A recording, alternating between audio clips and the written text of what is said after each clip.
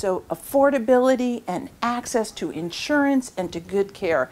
And access to care is really disrupting everywhere in a digital age. So we are talking a lot with clients. We see many clients, and we ourselves are providing digital platforms that allow people to manage their care, to access information, and to access providers.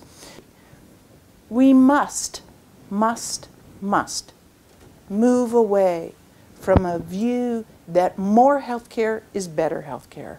We must, must, must start purchasing healthcare for the value it brings, not only to us as employers, but to us as individuals, to the quality outcomes that people have a right to and should expect. Not volume of healthcare, but quality and outcomes of healthcare.